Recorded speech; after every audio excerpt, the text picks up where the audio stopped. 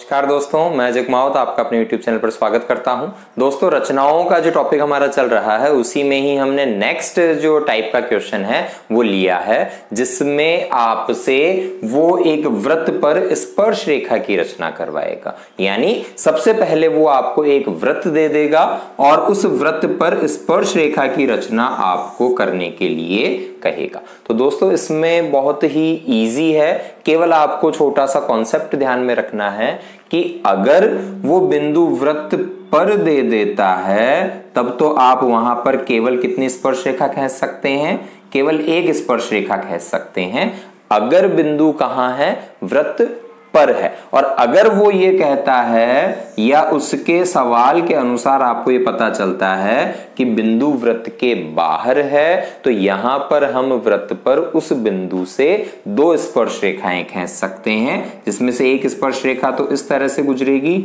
और दूसरी स्पर्श रेखा इस तरह से गुजरेगी। तो दोस्तों, यहाँ पर हमारे पास में दो क्वेश्चन है।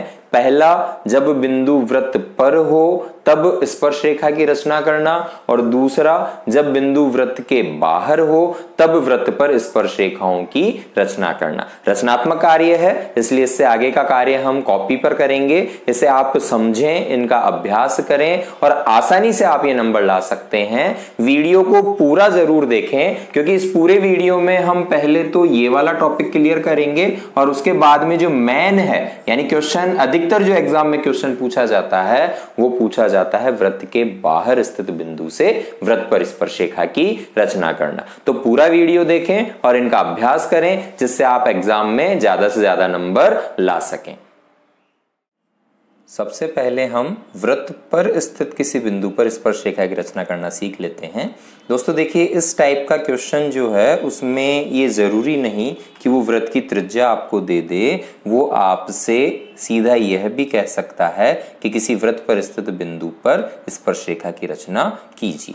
आपको जो ध्यान रखना है, ध्यान रखने वाली बात यहाँ पर यह है कि वृत्त पर जितने बिंदु आप लेंगे उतनी ही स्पर्श रेखाएँ आप बना पाएँगे। यानी अगर आप एक बिंदु लेते हैं तो एक बिंदु पर केवल एक ही स्पर्श रेखा का निर्माण आप कर सकते हैं। अगर आपको कोई दूसरी स्पर्श रेखा बनानी है तो उसके लिए कोई दूसरा बिंदु आपको लेना होगा।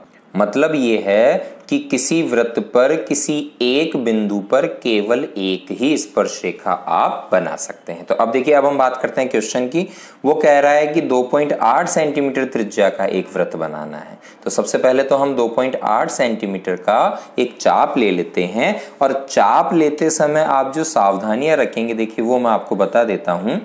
चाप कभी भी आपको हवा में नहीं नापना है। यानी आपने स्केल को हाथ में ले लिया है हवा में और उसके बाद आप चाप नाप रहे हैं, उसमें आप गलती कर सकते हैं। चाप मापने के लिए आप दो काम कर सकते हैं। या तो आप डायरेक्ट प्रकार से 2.8 का चाप ले लें। जैसे ये मैंने प्रकार पर 2.8 का इस तरह से चाप ले लिया है। दूसरा तरीका दूसरा तरीका क्या है? आप 2.8 को पहले रेखांकित कर लें कि यहाँ से लेकर यहाँ तक 2.8 होता है और उसके बाद आप इन दोनों बिंदुओं की दूरी ले लें इस तरह से।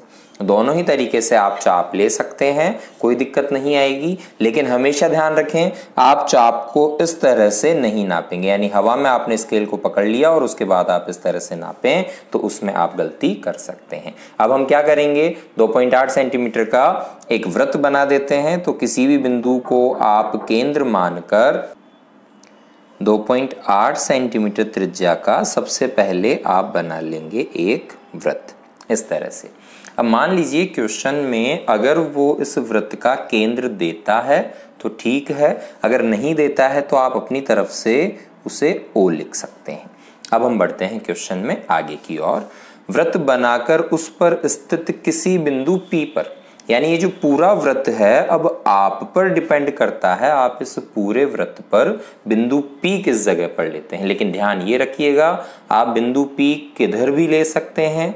आप चाहे तो यहाँ, चाहे तो यहाँ, लेकिन एक बार इस क्वेश्चन को देखने के बाद वैसे भी आपके दिमाग में सेट हो जाएगा कि हम जिधर भी बिंदु पी लेंगे, हमें उस तरफ़ थोड़ी सी खाली जगह चाहिए होगी। जैसे, अब मान लीजिए अगर मैं बिंदु पी ले लेता हूँ इस जगह पर।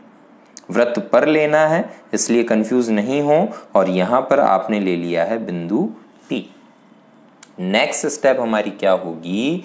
जब आप व्रत बना चुके हैं, व्रत पर कोई बिंदु ले चुके हैं तो आपको उस बिंदु को व्रत के केंद्र से मिलाना है। यानी आपको एक त्रिज्या बनानी है, जो व्रत के केंद्र और उस बिंदु को मिला रही है।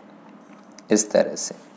यह आपने एक त्रिज्या बना दी है किसको मिलाना है? उस बिंदु को जिस पर आपको स्पर्श रेखा का निर्माण करने के लिए कहा गया है। इसके बाद, अब अब हमें इस बिंदु P पर एक 90 डिग्री का कोण बनाती हुई रेखा बनानी है। यानी P पर हमें 90 डिग्री का कोण बनाना है और 90 डिग्री का कोण बनाना आप कक्षा 6 से करते आ रहे हैं। एक बार वापस हम रिपीट कर लेते हैं।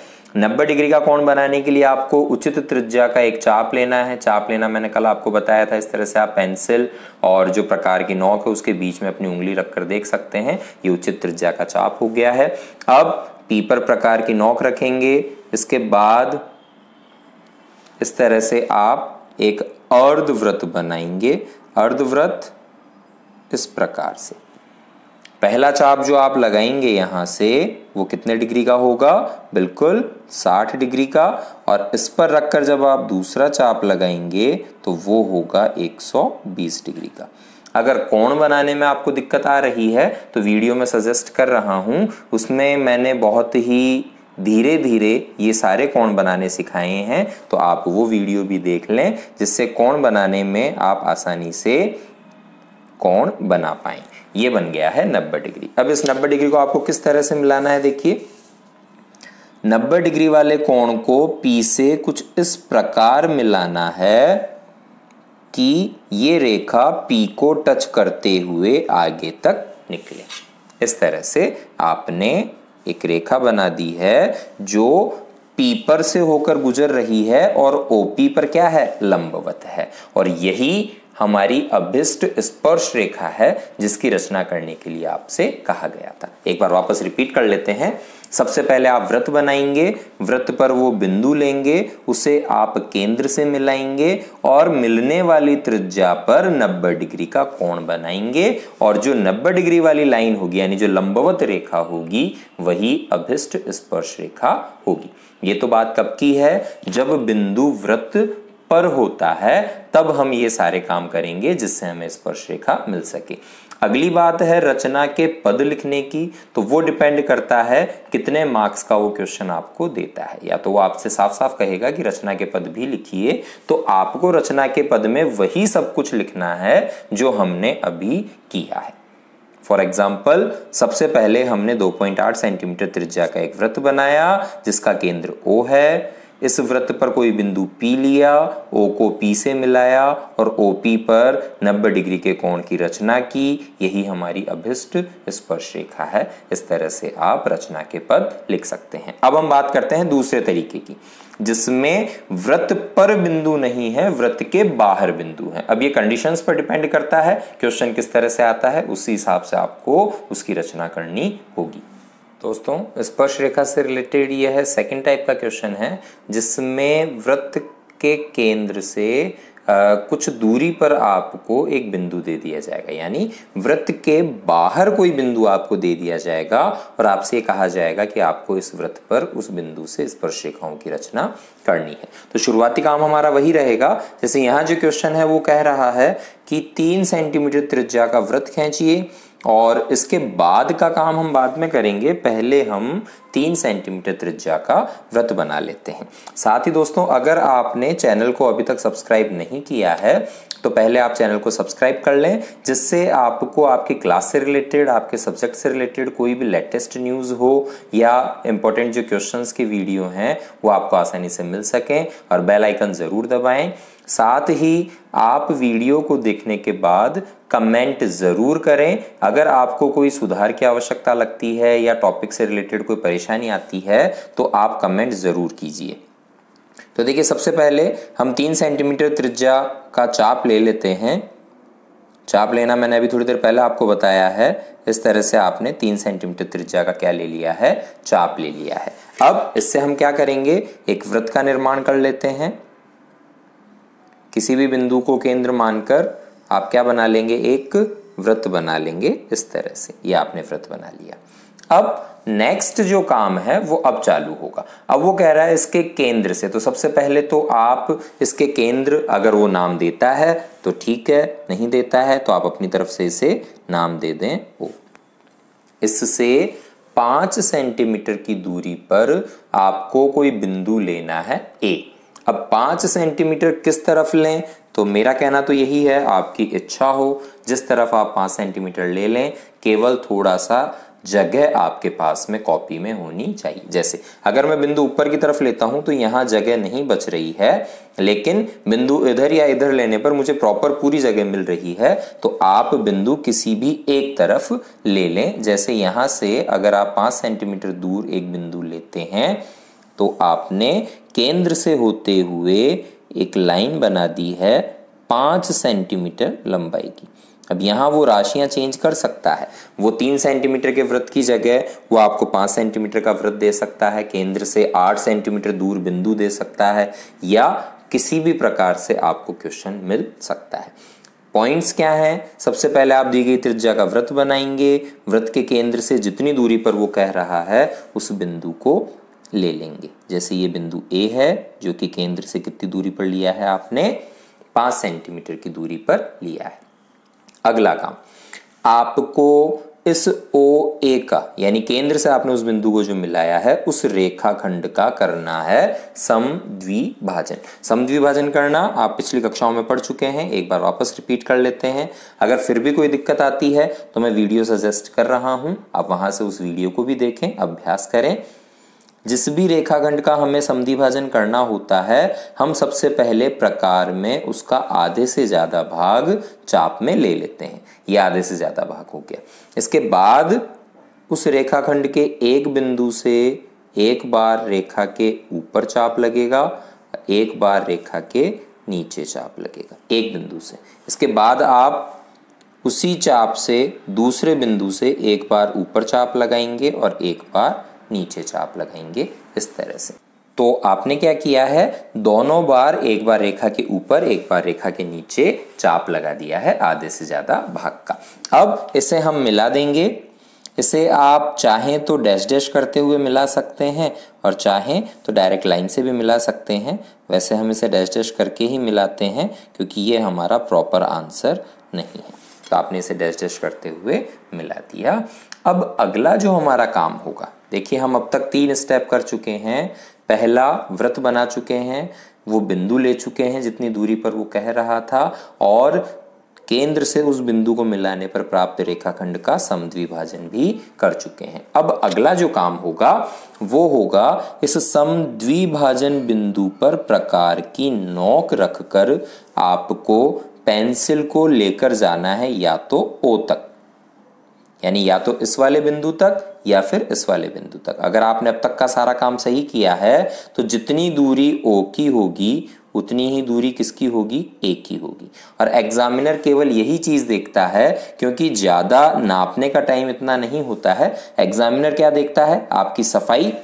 अगर आपने सब काम सही किया है, और आप इस समद्विभाजन बिंदु से ओ की दूरी लेकर अगर व्रत बनाते हैं तो ये व्रत ऑटोमेटिक कहाँ से होकर जाना चाहिए? ए से होकर जाना चाहिए। अगर ये ए से होकर जा रहा है, इसका मतलब आपका सारा काम सही है। और अगर ये ए से होकर नहीं जा रहा है, इसका मतलब आपने कहीं ना कहीं कोई ना कोई गड़बड़ अवश्य की है। इसी वजह से ये डिफरेंस आ रहा है। आपने इस प्रकार एक नया व्रत बना दिया है। ये लीजिए। अब ये नया व्रत जो है, पुराने व्रत को दो जगह पर काटेगा। देखिए, नाम आप देख लीजिए, दो जगह पर कौन कौन सी जगह पर काट रहा है। ये तो हमारा पुराना व्रत है, ये नया व्रत है, इसने एक तो काटा है इस जगह पर पुराने व्रत को और एक काटा है इस जगह पर पुराने व्रत को। इन दोनों बिंदुओं को आपको किससे मिलाना है? ए से मिलाना है। तो हम इन दोनों बिंदुओं को ए से मिला देते हैं। ये मिला दिया आपने इस वाले बिंदु को और इसी तरह से हम मिला देंगे इस वाले बिंदु को। ये लीजिए। इन दोनों बिंदुओं को मिलाने पर नाम हम दे देते हैं। एक को आपने नाम दे दिया है, अगर वो कुछ नहीं कह रहा है तो आपने पी कह दिया है, दूसरे को आपने क्यू कह दिया है। इस तरह से जो ए पी और ए क्यू आपको प्राप्त होगा वही हमारी अभिष्ट स्पर्श रेखा होगी। तो दोस्तों, इसमें एक बार वापस हम रिपीट कर लेते हैं। जिस त्रिज्या का वो व्रत कहता है, सबसे पहले आप उस त्रिज्या का व्रत बनाएँगे। केंद्र से जितनी दूरी पर वो बिंदु देता है, आप उतनी दूरी पर बिंदु लेंगे। केंद्र को उस बिंदु से मिलाएँगे और मिलने वाले रेखाखंड का समद्विभाजन करेंगे। समद्विभाजन करने के बाद जो समद्विभाजक बिंदु आएगा, उससे ओ की दूरी या ए की दूरी लेते हुए उस त्रिज्या का एक वृत्त बनाएँगे। ये नया व्रत पुराने व्रत को दो जगह पर काटेगा। उन दोनों जगहों को आप इस बिंदु से मिलाएँगे और यही हमारी अभिष्ट स्पर्श रेखाएँ होंगी। तो दोस्तों, आप इस टाइप के जो सिंपल क्वेश्चंस हैं, उनकी प्रैक्टिस करें। अब इन पर जो थोड़े टिपिकल टाइप के क्वेश्चंस आते हैं, वो हम अगले वीडियो में देखेंगे। उससे पहले आप ये नॉर्मल अभ्यास कर लें, जिससे आप नेक्स्ट वीडियो को आसानी से समझ सकें और आप अपने आप भी ये काम कर सकें। वीडियो को लाइक करें चैनल को सब्सक्राइब ज़रूर करें। Thank you.